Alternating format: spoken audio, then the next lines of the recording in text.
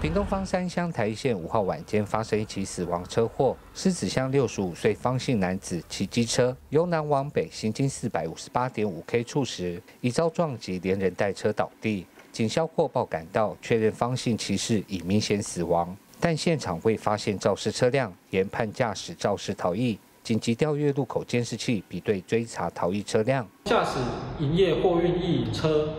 王姓男子于晚间十时十分在高雄左营分局自首，本分局员警随即前往高雄，将涉案驾驶带回厘清案情。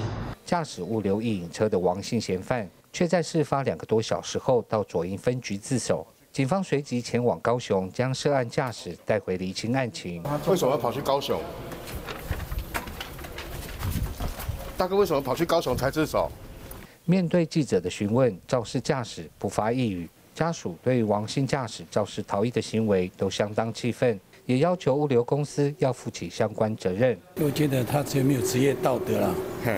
啊，当初我看他的行车记录器哦，也没有保持呃距离，还有超速的嫌疑了。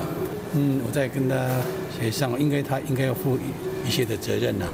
肇事驾驶酒车值为零，警方表示全案侦讯后依涉犯肇事逃逸。过失致死罪移送屏东地检署侦办。至于详细事故发生原因，仍有待进一步调查。